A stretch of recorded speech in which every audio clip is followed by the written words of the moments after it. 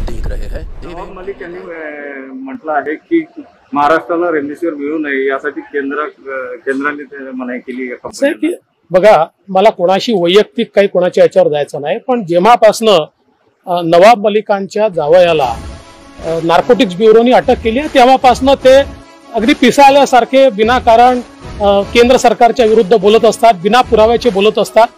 आणि म्हणून मला त्याच्यावर उत्तर द्यायचं कारण नाहीये त्याचं उत्तर जे आहे ते स्पष्टपणे केंद्रीय मंत्र्यांनी काल दिलेलं आहे. ना- नाना पटोलेंनी म्हटलं आहे की भाजप महाराष्ट्राला बदनाम.